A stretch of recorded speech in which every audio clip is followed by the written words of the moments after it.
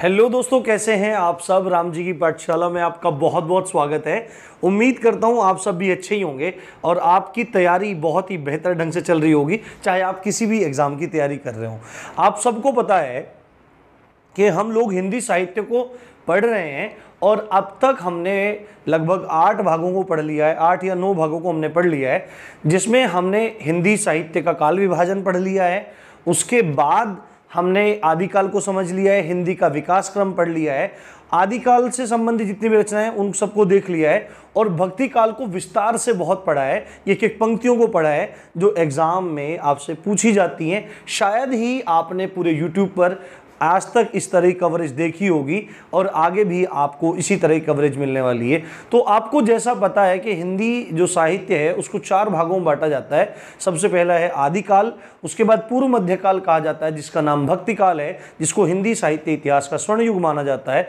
उसके बाद आता है उत्तर मध्यकाल, जैसा मेरे पीछे लिखा हुआ है, और इसका नाम है रीतिकाल। और रीतिकाल के बाद जो समय आता है, वो आधुनिक काल आता है, जिसको गद्य काल के भी नाम से जाना जाता है। तो आज हम लोग शुरू करने वाले हैं रीतिकाल, जिसको मैं आपको दो भागों में पढ़ाऊँगा। सबसे पहले आज हम लोग डिस्कस करेंगे रीतिकाल के नामकरण के बारे में, उसके उदय होने के कारणों के बारे में, उसके विशेषताओं के बारे में, कि रीतिकालीन काव्य की विशेषता क्या है, उसके बाद उस रीतिकालीन साहित्य की गौणता क्या है क्या छूट गया, जो पीछे से चला आ रहा था, वो क्या चीज़ छोड़ दी रीतिकालीन साहित्य ने?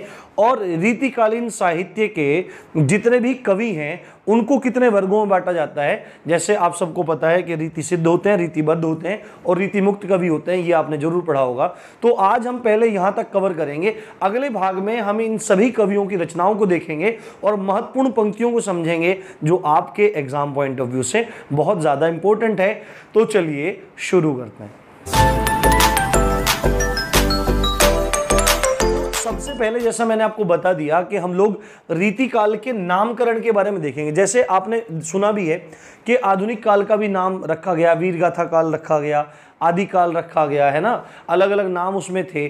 तो इसी तरह इसमें भी नाम है और वहाँ जिस तरह आपसे नाम पूछ सकता है कि ये वाला नाम किसने दिया, ये वाला नाम किसने दिया तो यहाँ से भी आपका प्रश्न बन सकता है कि रीतिकाल के कोई ये तीन नाम जो हैं उनको किस किसने दिया? या डायरेक्टली पूछ सकता है कि रीतिकाल को रीतिकाल नाम किसने दिया? तो आपको बोलना पड़ेगा रामचंद्र शुक्ल, जो आचार्य रामचंद्र शुक्ल हैं, जो हिंदी साहित्य में बहुत जाना माना नाम है। तो उन्होंने रीतिकाल को रीतिकाल कहा। अब अलंकृत काल किसने कहा? अलंकृत काल कहा मिश्र बंधुओं ने।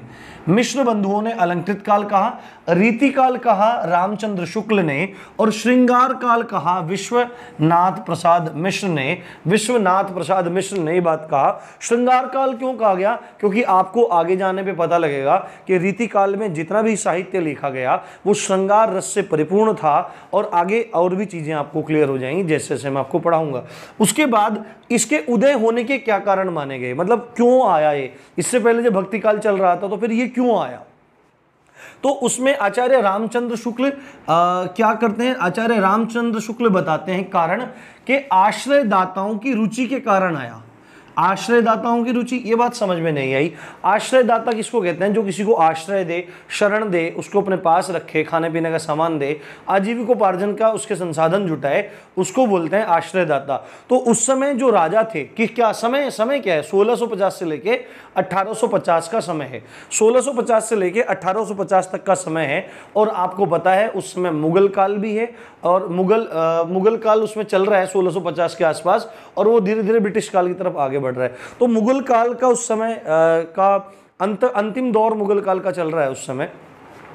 तो उस समय क्या है, जो राजा हैं, जो हिंदू राजा हैं, या जो उस समय शासक हैं, उन शासकों के पास अपने दरबारी कवि हैं। उन्होंने कवियों को आश्रय दे रखा है। तो उन राजाओं को रिझाने के लिए, उन राजाओं को रिझाने के लिए ही केवल उन कवियों ने क्या किया? काव्य रचा। केवल उन कवियों ने क्या किया? काव्य रचा। और वो किसकी रुचि के अनुसार था? वो आश्रयदाताओं की रुचि के अनुसार था। जो जनता की रुचि को बिल्कुल सिरे से नकार रहा था। रीति काल में जितना भी काव्य रचा गया, आचार्य रामचंद्र शुक्ल ने माना कि वह आश्रयदाताओं की रुचि के अनुसार था और यही कारण था रीति काल के उदय होने का। पर इसमें एक बात थी कि जनता की रुचि के अनुकूल नहीं था, उसको जनता की रुचि को सिरे से नकार दिया गया। जबकि भक्ति काल में आप देखेंगे कि भक्ति काल में सबसे ज़्यादा जो ज़ोर दिया गया है, वो जनता को ही ध्यान में रख के दिया गया है। सर्व लोक मंगल की भावना, आपने पढ़ा है, लोकमंगल की भावना हमको रामाश्रय में देखने को मिलती है। और कबीर समाज सुधारक के रूप में बात करते हैं जायसी प्रेम से संबंधित बात करते हैं, कृष्णाश्रय में भी लोकमंगल की भावना एवं रस से परिपूर्ण बातें मिलती हैं। तो वो जन जन से जुड़ा हुआ साहित्य है जन जन से जुड़ा हुआ काव्य है, जबकि रीतिकालीन जो काव्य है, वो आश्रयदाताओं यानी राजाओं से जुड़ा हुआ, यानी दरबारों से जुड़ा हुआ काव्य है। उसका सामान्य जनता से कुछ लेना देना नहीं है और आश्रयदाताओं की रुचि के कारण ही आचार्य रामचंद्र शुक्ल रीतिकाल का उदय मानते हैं। उसके बाद डॉक्टर नगेंद्र क्या कहते हैं इसके बारे में? डॉक्टर नगेंद्र क्या कहते हैं कि बाह्य अभिव्यक्तियों से निराश होकर, बाह्य अभिव्यक्तियों से निराश होकर, जब कवियों ने क्या काम किया? अपने आप को समेट लिया। अपने आप को कहाँ समेट लिया? घर के अंदर समेट लिया। घर के अंदर समेट लिया। बाह्य अभिव्यक्ति मतलब उस समय राजनीतिक जो माहौल था वो भी ठीक नहीं था। जो सामाजिक माहौल था वो भी ठीक नहीं था। तो उन सब चीज़ों को कवियों ने छोड़ दिया और कवि ने अपने आप को घर के अंदर समेट लिया और घर के अंदर सामान्यतः निवास माना जाता है स्त्री का। तो स्त्री से संबंधित ही सारी बातें की गई और स्त्री में आसक्त होने के कारण या स्त्री के रूप का लक्षणों का वर्णन करने के कारण ही इसको काम की अभिव्यक्ति माना गया कि जो अभिव्यक्ति का जो आ, क्या बना? अभिव्यक्ति का जो माध्यम बना, वो काम बना, है ना? काम से संबंधित बातें की गई, वासना से संबंधित बातें की गई। वासना बोलना थोड़ा ठीक नहीं है, पर काम से संबंधित बातें की गई और यही आधार बना रीतिकाल का। क्योंकि इससे जस्ट पहले रीतिकाल से जस्ट पहले किसकी बात की गई थी? राम की बात की गई थी, यानी भक्ति की बात की गई थी, और उसके जस्ट बाद में बात की गई काम की। यानी ये डॉक्टर नगेंद्र कह रहे हैं कि बाह्य अभिव्यक्तियों से परेशान होकर, निराश होकर कवियों ने अपने आप को जैसे घर में बंद कर लिया और स्त्रियों के लक्षणों का उन्होंने वर्णन शुरू कर दिया, जिसका आधार उन्होंने काम को बनाया। इसलिए रीतिकाल की शुरुआत होती है। और हजारी प्रसाद द्विवेदी जी कहते हैं कि इसका आधार क्या है? उत्तरकालीन जो संस्कृत के लक्षण ग्रंथ थे उत्तरकालीन जो संस्कृत के लक्षण ग्रंथ थे, अब ये लक्षण ग्रंथ क्या होता है? लक्षण ग्रंथ थे, एक बात मैं बता देता हूँ, हजारी प्रसाद द्विवेदी जी बोल रहे हैं कि उत्तरकालीन उत्तरकालीन मतलब जो संस्कृत के ग्रंथ थे, जो बाद में संस्कृत के ग्रंथ रचे गए पहले रचे गए और बाद के समय के हैं, जो वैदिक काल से थोड़ा नीचे के समय आते हैं, वैदिक काल से नीचे का समय आता है तो उत्तरकालीन जो संस्कृत के ग्रंथ थे तथा कैसे ग्रंथ थे, लक्षण ग्रंथ थे, उनका प्रभाव इन कवियों पर पड़ा। उन लक्षण ग्रंथों का प्रभाव इन कवियों पर पड़ा। तो अब लक्षण ग्रंथ को समझते हैं, लक्षण ग्रंथ क्या होता है? लक्षण ग्रंथ सामान्यतः आपको कोई नहीं बताएगा, आपको अलग से सर्च करना पड़ेगा तो आपको चीज़ें शायद मिल सकती हैं। लक्षण ग्रंथ किसको कहते हैं? ग्रंथ का मतलब तो क्या है? ग्रंथ का सीधा सीधा मतलब है, जिसमें कोई साहित्य लिखा हो, पर लक्षण का क्या मतलब है? देखो, लक्षण का मतलब है कि रूप, रंग, राग, चाल, ढाल, वेश, भूषा, अदाएँ, ठीक है? ये सब चीज़ें, ये सब किसमें होती हैं? ये स्त्रियों में होती हैं। ये आपको सामान्यतः बात पता है, ये सब किसमें होती हैं? स्त्रियों में होती हैं। और ऐसे ग्रंथ जिनमें स्त्रियों के इन सब लक्षणों से संबंधित बातें की गई हो। स्त्रियों के इन लक्षणों को ध्यान में रख के साहित्य लिखा गया हो। स्त्रियों के इन लक्षणों को ध्यान में रखते हुए काव्य की रचना हुई हो। ऐसे ग्रंथ लक्षण ग्रंथ कहलाते हैं और इस प्रकार के ग्रंथों की रचना संस्कृत साहित्य में भी की, जिनमें अप्सराओं के लक्षणों का वर्णन मिलता है, जिसमें रंभा, उर्वशी, मेनका इत्यादि जो तमाम अप्सराएँ थी, उनके लक्षणों को वर्णित किया गया। तो उन्हीं संस्कृत के ग्रंथों को आधार मान के रीतिकालीन कवियों ने अपनी रचनाएँ की और यही कारण माना हजारी प्रसाद द्विवेदी जी ने रीतिकाल के उदय होने का। मुझे उम्मीद है आपको सब चीज़ें बहुत बेहतर तरीके से समझ में आ रही होंगी। इस तरह का रीतिकाल पढ़ाना, देखो भाई, रीतिकाल आपको डायरेक्टली पढ़ा सकता है कोई। क्या पढ़ाएगा रीतिकाल में? कि रीतिकाल में ये तीनों तीनों बता देगा? रीतिबद्ध रीति सिद्ध रीति मुक्त बता देगा कोई? और उसके बाद फिर सीधे रचना, रचनाएँ बता देगा और बात छुट्टी। हो गया रीतिकाल। पर रीतिकाल ये नहीं है। रीतिकाल में आपको ये सब चीज़ें पढ़ना ज़रूरी है। मैं आपको वो बातें बताने वाला हूँ जो जल्दी से आपको पता नहीं लगने वाली हैं। तो अभी हमने नामकरण देख लिया, उदय होने का कारण देख लिया।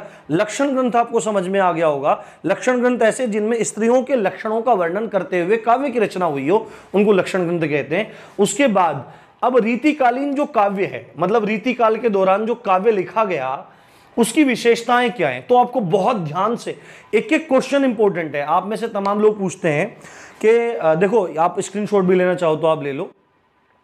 आप में से तमाम लोग ये पूछते रहते हैं कि आ, मैं भूल गया।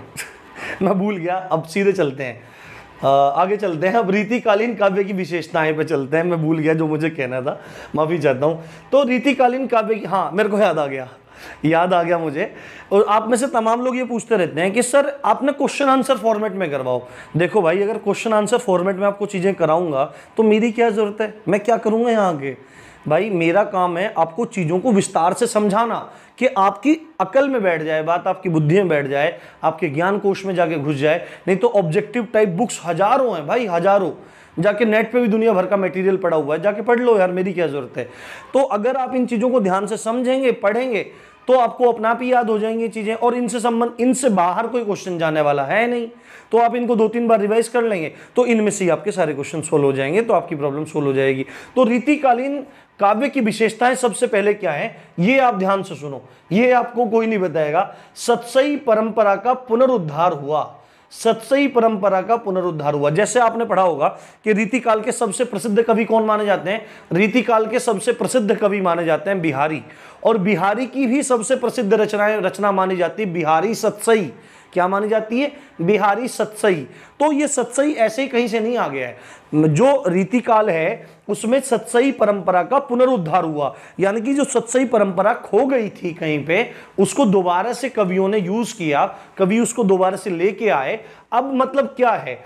जो सत्सई परंपरा है, ये मुक्तक काव्य की एक विधा है। ये मुक्तक काव्य की एक विधा है। विधा का मतलब है कि स्टाइल है। ये एक स्टाइल है जिसमें काव्य लिखा जाता है और किस काव्य के अंतर्गत आती है? मुक्तक काव्य के अंतर्गत आती है। मैंने आपको हर वीडियो में बताया कि मुक्तक काव्य क्या होता है। काव्य दो तरह के होते हैं। एक प्रबंध काव्य होता है एक मुक्तक काव्य होता है। प्रबंध काव्य का मतलब है कि जि, जितना भी पूरा काव्य लिखा हुआ है वो एक धागे में पिरा हुआ है। यानी कि एक सिरे से लेकर दूसरे सिरे तक वो आपस में जुड़ा हुआ है, जैसे रामायण। रामायण एक प्रबंध काव्य है। महाभारत एक प्रबंध काव्य है। यानी कहानी एक सिरे शुरू होती है और आखिरी सिरे तक खत्म होती है, चाहे उसके बीच में कितने भी छंदों का इत्यादि का प्रयोग हो तो वो प्रबंध काव्य है। यानी एक पूरे सिस्टम में काम चल रहा है, पूरा का पूरा एक साथ लिखा हुआ है। और मुक्तक काव्य में क्या है, अगर कोई पुस्तक है और उसमें किसी कविता की रचना की गई है सपोज़ करो मेरे पास पुस्तक है पुस्तक पे दो पेज हैं, एक पेज पे एक कविता, दूसरे पेज पे दूसरी कविता, ये लिखी हुई है तो इस कविता में जो भी बात है, वो यहीं पे सिमटी हुई है। उसका इससे पिछली वाली से कोई लेना देना नहीं है और अगले पेज वाली से लेना देना नहीं है। यानी कि जो भी बात है, वो एक ही कविता में, एक ही छंद में पूरी हो रही है। उसका आगे पीछे कोई मतलब नहीं है। यानी कि वो मुक्त है। यानी कि अपने आप में मुक्त है। तो अपने आप में जो कविता मुक्त है, उसी को मुक्तक काव्य कहते हैं। और जो सत्सई परंपरा है, वो मुक्तक काव्य की एक विधा है। मुक्तक काव्य का एक स्टाइल है, जिसमें काव्य लिखा जाता है। अब ये होता क्या है? सतसई परंपरा मतलब क्या मतलब क्या है इसका?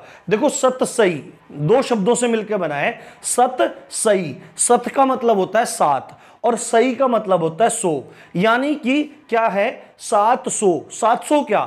सत्सई उसे कहते हैं जो 700 छंदों का संग्रह होता है। क्या होता है? 700 छंदों के संग्रह को सतसई कहते हैं। 700 छंदों के संग्रह को सतसई कहते हैं और इस सतसई में जिस छंद की प्रधानता होती है, वो दोहा छंद होता है। सतसई जो परंपरा है, जो सतसई लिखी जाती है, जो 700 छंदों का संग्रह है, उसमें दोहे की प्रधानता होती है। दोहा एक छंद है, आपको पता होगा। और उसके साथ साथ में बीच बीच में सोरठा और बरवे छंद भी देखने को मिलता है। ये है पूरी आपकी सत्सई परंपरा। और सत्सई परंपरा के सत्सई परंपरा के जितने भी ग्रंथ माने जाते हैं, उनमें श्रृंगार रस प्रधान होता है। श्रृंगार रस प्रधान होने का मतलब है, उनमें नायक नायिका के प्रेम के बारे में बात की जाती है, स्त्री पुरुष के प्रेम के बारे में बात की जाती है, चाहे वो संयोग से संबंधित हो, चाहे वो वियोग से संबंधित हो। जब मैं आपको रस पढ़ाऊँगा, तब ये बातें आपको क्लियर हो जाएँगी। तो चलिए, अब बढ़ते हैं आगे।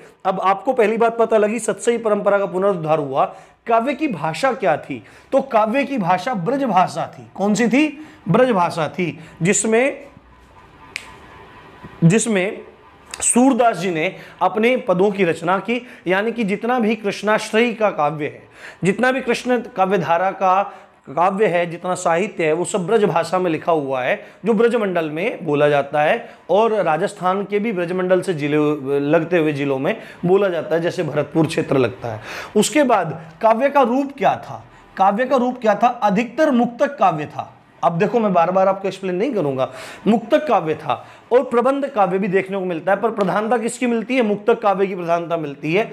और छंद कौन सा मिलता है? सबसे ज़्यादा रीति काल में जो छंद प्रयोग हुआ, वो दोहा छंद प्रयोग हुआ, साथ में सवैया छंद भी प्रयोग हुआ, क्योंकि सवैया छंद भी श्रृंगार रस को बढ़ावा देता है, यानी श्रृंगार रस को वर्णन वर्णन करने के लिए, श्रृंगार रस का वर्णन करने के लिए सवैया छंद अनुकूल होता है और आपको पता है कि रीति काल जो है, वो पूरा श्रृंगार रस से भरा हुआ है, श्रृंगार से ही भरा हुआ है, क्योंकि लक्षण ग्रंथों से प्रभावित माना गया है और लक्षण ग्रंथ में स्त्रियों के लक्षणों के ऊपर काव्य किया गया है और जब भी स्त्रियों से संबंधित कहीं बात होती है तो श्रृंगार रस की बात ना हो, ऐसा हो नहीं सकता। यानी स्त्रियों से संबंधित जब भी बात होती है तो श्रृंगार से संबंधित, श्रृंगार रस से संबंधित बात होती है तो सवैया छंद का प्रयोग किया गया और कवित्त छंद का प्रयोग भी किया गया कहीं कहीं पे, क्योंकि आश्रयदाता थे ना तो आश्रयदाताओं का कहीं ना कहीं, वैसे तो वीर वीर रस गौण रूप में है। जैसे कि आदिकाल में क्या वीर रस ही दिखाई पड़ता है। ज़्यादातर वीर रस से ही संबंधित रचनाएँ मिलती हैं आदिकाल में। पर रीति काल में श्रृंगार रस से संबंधित रचनाएँ मिल रही हैं। पर कहीं कहीं पर वीर रस से संबंधित कुछ बातें आई हैं तो वहाँ पर कवित्त छंद का प्रयोग भी किया गया है। क्योंकि कवित्त छंद वीर रस को वर्णित करने के लिए वीर रस का वर्णन करने के लिए अनुकूल माना जाता है। उम्मीद करता हूँ आपको चीज़ें बहुत बेहतर तरीके से समझ में आ रही होंगी। इसलिए मैक्सिमम शेयर करना ना भूलिए भाई। आप जैसे भाइयों के पास, आप जैसे दोस्तों के पास सब ये वीडियोस पहुँच जाए, सबका भला हो जाए, इससे बढ़कर कोई बात नहीं हो सकती। उसके बाद देखो, ऐसे तो छंद, दोहा प्रयोग हो रहा है, सवैया भी प्रयोग हो रहा है, कवित्व भी है दोहा प्रधान है, पर केशव दास आएँगे, केशव दास आएँगे रीतिबद्ध कवियों में, केशव दास आएँगे रीतिबद्ध कवियों में, उनकी एक पुस्तक है रामचंद्रिका। जिसको छंदों का अजायब घर कहते हैं, ये मोस्ट इंपोर्टेंट क्वेश्चन है, आपके पेपर में कई बार पूछा गया है। केशव दास की जो रामचंद्रिका रचना है, उसको छंदों का अजायब घर बोलते हैं, और इससे संबंधित एक मैं आपको बहुत ही रुचिकर किस्सा सुनाता हूँ। जो केशव दास हैं, आपने सुना होगा, मध्य प्रदेश में टीकमगढ़ जिला है, और टीकमगढ़ जिला में एक जगह पड़ती है ओरछा, जहाँ राम राजा सरकार निवास करते हैं। आपको पता होगा, आज भी वहाँ मध्य प्रदेश की पुलिस जिस तरह राजाओं को सलाम दिया जाता है, उस तरह राजा रामचंद्र जी को सलाम देती है। जो ओरछा नरेश थे, राजा मधुकर शाह, उनकी पत्नी थी, वो राम भक्ता थी। वो अयोध्या से रामचंद्र जी को लेके आई थी और ओरछा में विराजमान हुए। उसके बाद वहाँ पे छोटी अयोध्या ओरछा को बोला जाना हुआ, जो आप में से मध्य प्रदेश से देख रहा होगा और ओरछा के बारे में सुना होगा तो मेरे को ज़रूर बताइएगा। तो इसमें क्या है, जो राजा थे, ओरछा के नरेश थे, राजा मधुकर शाह, राजा मधुकर शाह के संरक्षण में थे केशव दास और केशव दास की मंडली थी। केशव दास की पूरी मंडली थी, उनके साथ में नृत्यांगना भी थी और गाने बजाने वाले भी थे, कवि थे। तो उन लोगों में आपस में बहुत प्रेम हो गया। उन लोगों में आपस में बहुत प्रेम हो गया और उन्होंने इस उद्देश्य के से कि मरने के बाद कि मरने के बाद कहीं हमको अलग ना होना पड़े, इसलिए हम एक काम करते हैं, एक साथ मर जाते हैं और भूत बन जाते हैं। उन्होंने सोचा, मरने के बाद एक मरने के बाद एक साथ रहेंगे, मौत से रहेंगे, फिर कोई दिक्कत नहीं आएगी। तो उन सबने मिलकर भूत यज्ञ किया। एक यज्ञ किया कोई, तांत्रिक क्रिया की उन्होंने, और तांत्रिक क्रिया करने के बाद सब के सब उसमें जल के मर गए। पर अपने कर्मों के अनुसार ही जीव की गति होती है, ऐसा भारतीय दर्शन बताता है। तो कोई कहीं चला गया, कोई कहीं चला गया, भूत बन गए सब। कोई कहीं चला गया, कोई कहीं चला गया। और केशव दास भी प्रेत योनि को प्राप्त हो गए। और ये वर्णन मिलता है हमें साहित्य में कि तुलसीदास जी आए और तुलसीदास जी को ये केशवदास मिले। केशवदास मिले तो उन्होंने पूछा, भाई, तुम कौन हो? तो उन्होंने कहा, मैं केशवदास हूँ। तो एकदम से तुलसीदास जी हक्के बक्के रह गए। अरे, तुम वही केशवदास हो रामचंद्र का लिखा है? हाँ रामचंद्रिका। रामचंद्रिका में राम जी के चरित्र का वर्णन है पूरी की पूरी मतलब जो राम जी का चरित्र है जो पूरी रामायण है उसको रामचंद्रिका में वर्णित किया गया है। तो उनका अरे तुम्हारी इतनी अधोगति कैसे हो गई? तो उन्होंने कहा कि भाई ऐसे ऐसे हमारे साथ काम हो गया। तो उस समय तुलसीदास जी ने केशव दास का उद्धार किया। ये बात आपको याद रखनी चाहिए। और आचार्य रामचंद्र शुक्ल ने मैं बाद, बाद में बता दूँगा आचार्य रामचंद्र शुक्ल ने आपको प्रेत की बात से याद रह जाएगा। केशवदास प्रेत हो गए थे और इनको कह भी दिया था पहले ही। इनको रामचंद्र शुक्ल ने, इसको रामचंद्र शुक्ल ने कठिन काव्य का प्रेत कहा। इनको रामचंद्र शुक्ल ने, केशव दास को कठिन काव्य का प्रेत कहा और ये वास्तविकता में प्रेत बन भी गए थे। तो आप, इनकी रचना कौन सी है? रामचंद्र का, जिसको छंदों का अजायब घर कहते हैं। उसके बाद रीतिकालीन साहित्य की गौणता। मतलब रीतिकालीन साहित्य में क्या चीज़ छुप गई? क्या चीज़ गौण हो गई? तो सबसे पहले क्या हुआ कि ये जन काव्य नहीं था। अब से पहले जो काव्य था भक्तिकालीन जो काव्य था वो जन साहित्य था वो जन काव्य था और ये जो था वो जन काव्य नहीं रहा। ये कैसा बन के रह गया? ये दरबारी काव्य बन के रह गया और यही इसके पतन का कारण भी रहा कि 200 साल के एक छोटे से पीरियड में ही ये समाप्त हो गया। उसके बाद अब इसमें भक्ति देखने को नहीं मिलती है। भक्ति देखने को नहीं मिलती है तो आ, पर कहीं कहीं पे थोड़ा थोड़ा थोड़ा थोड़ा सा वर्णन मिलता है। भक्ति वैसे देखने को नहीं मिलती है, कहीं कहीं पे वर्णन देखने को मिलता है। कहाँ पे देखने को मिलता है? मंगलाचरण। मंगलाचरण का मतलब है, जब किसी चीज़ की शुरुआत की जाती है तो वहाँ पे भगवान का, ईश्वर का, या किसी भी ईश्वर के स्वरूप का ध्यान किया जाता है। जैसे हिंदुओं में परंपरा क्या रहती है सबसे पहले गणेश जी का ध्यान किया जाता है, या अपने इष्ट का ध्यान करते हैं अलग अलग लोग तो मंगलाचरण में होता है, या फिर ग्रंथ की समाप्ति पर भी होता है। ग्रंथ की समाप्ति पर भी होता है, ये आपको पता होना चाहिए। तो यहाँ पे किया गया है। दूसरी बात है, वीर काव्य बहुत नेगेटिव मतलब था ही नहीं। वीर काव्य नहीं था। अब ये बात क्यों इंपॉर्टेंट आई? क्योंकि राजाओं ने आश्रय दिया तो वहाँ पे उसकी, उनकी बड़ाई करनी चाहिए थी ना। वीर काव्य लिखना चाहिए था, पर वीर काव्य नहीं लिखा और ना ही नीति से संबंधित कोई ग्रंथ इसमें लिखे गए। तो ये इसकी गौणता थी। तो ये सारी की सारी बेसिक बातें थी, इससे रिलेटेड अब जो आचार्य विश्वनाथ प्रसाद मिश्र हैं, उन्होंने रीतिकालीन कवियों को तीन भागों में बांट दिया है, जिसमें रीतिबद्ध कवि हैं रीति सिद्ध कवि हैं और रीति मुक्त कवि हैं। रीतिबद्ध कवि हैं रीति सिद्ध कवि हैं रीति मुक्त कवि हैं, जिसमें रीतिबद्ध कवि किसको कहते हैं? मैंने आपको पहले ही बता दिया है कि रीति काल में क्या हुआ? लक्षण ग्रंथों का प्रभाव आया। किसका प्रभाव आया? लक्षण ग्रंथों का। लक्षण ग्रंथ में क्या बात आई? स्त्री के लक्षणों की चर्चा को चर्चा की, स्त्री के जो लक्षण है, उनकी चर्चा की, स्त्री के लक्षण के आधार पर काव्य लिखा गया और जो संस्कृत में लिखे गए थे, उन्हीं से प्रभावित होकर रीतिकालीन कवियों ने अपना जो काव्य था उसको लिखा। तो इस आधार पे तीन तरह, तीन तीन कैटेगरी में कवियों को बांटा गया। रीतिबद्ध कवि रीति सिद्ध कवि रीति मुक्त कवि। तो रीतिबद्ध कवि किसको कहते हैं? ऐसे कवि जिन्होंने संस्कृत के लक्षण ग्रंथों को आधार मानकर जिन्होंने संस्कृत के लक्षण ग्रंथों को आधार मानकर और उसी रीति में बंधकर, जिस रीति में लक्षण ग्रंथ लिखे गए थे संस्कृत में, उसी, उन्हीं लक्षण ग्रंथों को आधार मानकर, उसी रीति में बंधकर, हिंदी इसमें जो ये रीतिकालीन भाषा है, इसमें लक्षण ग्रंथों का निर्माण किया। कौन? जिन जिन कवियों ने संस्कृत के लक्षण ग्रंथों को आधार माना और उसी रीति में बंधकर, उसी परंपरा में बंधकर उन्होंने अपने लक्षण ग्रंथों की रचना की। उनको रीति बद्ध कवि माना गया। रीति सिद्ध कवि कौन थे? जिन्होंने सीधे सीधे किसी लक्षण ग्रंथ को नहीं लिखा। जिन्होंने यहाँ पे तो क्या हुआ कि लक्षण ग्रंथों को आधार माना रीतिबद्ध वालों ने लक्षण ग्रंथों को आधार माना और लक्षण ग्रंथ ही लिखे। किसके किसके लक्षण ग्रंथों को आधार माना? संस्कृत के लक्षण ग्रंथों को आधार माना और ब्रज भाषा में या रीतिकालीन भाषा में ब्रज भाषा ही है तो ब्रज भाषा में फिर अपने लक्षण ग्रंथों की रचना की रीतिबद्ध कहलाए। रीति सिद्ध में क्या था कि उन्होंने लक्षण ग्रंथों को तो नहीं लिखा पर जो परंपरा चली आ रही थी, जो लक्षण ग्रंथों की परंपरा चली आ रही थी, उनका पालन किया और उसी उसी दायरे में, उसी मर्यादा में, उसी रीति में, उसी लीक पर, उसी रूढ़ में, उसी रूढ़ में, उसी रास्ते पे चलते हुए उन्होंने अपने अपने जो काव्य है उसकी रचना की और इसी में आते हैं बिहारी, रीतिबद्ध में ही आते हैं बिहारी आपको ये बात ध्यान होनी चाहिए, मैं आपको बताऊँगा अभी अभी आगे नाम भी बताऊँगा। और उसके बाद रीति मुक्त आपको पता लग जाएगा रीति मुक्त का मतलब क्या है कि ये जो रीति चली आ रही है, लक्षण ग्रंथों को आधार पर रख के जो काव्य करने की रीति चली आ रही है, पहले तो डायरेक्टली लक्षण ग्रंथ लिख दिए रीतिबद्ध वालों ने। रीति सिद्ध वाले लक्षण ग्रंथ नहीं लिखे, पर उन, उस रीति को फॉलो किया, उस पैटर्न को फॉलो किया, उस परंपरा को फॉलो किया, और उसी आधार पर अपने काव्य लिखे।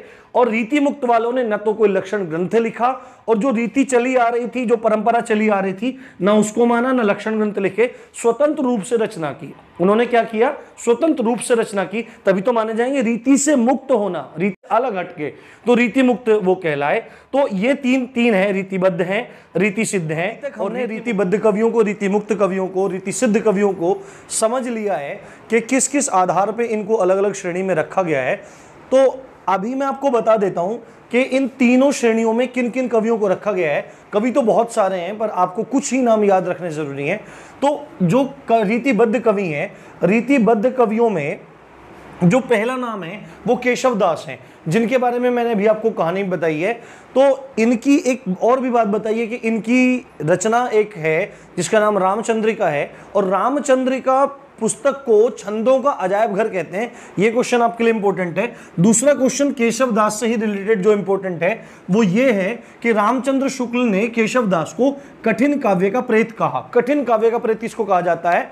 केशव दास को कहा जाता है। ऐसा रामचंद्र शुक्ल ने कहा केशव दास के लिए। ठीक है, आपको क्लियर हो गई होगी बात।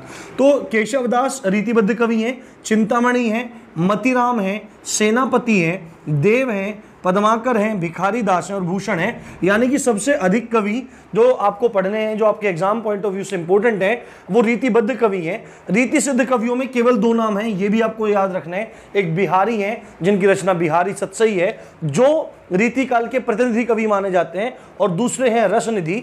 और ये दोनों नाम आपको याद रखना है। और रीति मुक्त कवियों में घनानंद हैं, आलम हैं ठाकुर हैं, बोधा हैं और द्विजदेव हैं। तो ये पाँच नाम आपको याद रखने हैं। इसके बाद जो अब अगला पार्ट रीतिकाल का आएगा, उसमें हम इन सभी कवियों की रचनाओं को पढ़ेंगे। कौन सी रचना है जो आपके एग्ज़ाम में पूछी जाती हैं और कौन सी वो पंक्तियाँ हैं जो बार बार आपसे एग्ज़ाम में पूछी जाती हैं। तो उम्मीद करता हूँ आज का पूरा लेक्चर, आज का पूरा वीडियो आपको समझ में आया होगा। समझ में आया तो मैक्सिमम शेयर कीजिए अपने दोस्तों के साथ में और चैनल को सब्सक्राइब करना मत भूलिए। साथ में अगर वीडियो बहुत ज़्यादा पसंद आ रही है तो लाइक करना भी मत भूलिए। आप देख रहे थे राम जी की पाठशाला, मैं हूँ राम भारद्वाज। जय हिंद, जय भारत।